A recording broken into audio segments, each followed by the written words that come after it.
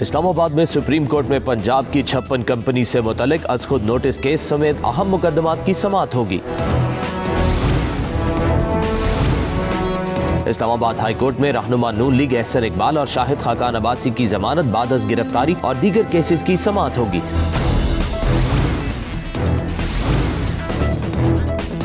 احتساب عدالت میں رہنما پیپلز پارٹی راجہ پرویز اشرف کے خلاف کار کے رینٹل ریفرنس سمیت اہم مقدمات کی سماعت ہوگی۔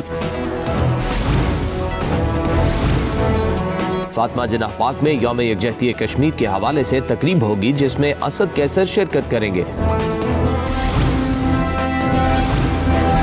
کراچی میں وزیر ریلوے شیخ رشید کی وزیر اعلیٰ سندھ مراد علی شاہ سے ملاقات ہوگی۔ وزیر اعلیٰ بلوچستان جام کمال بلوچستان ٹورزم سیمینار سے خطاب کریں گے۔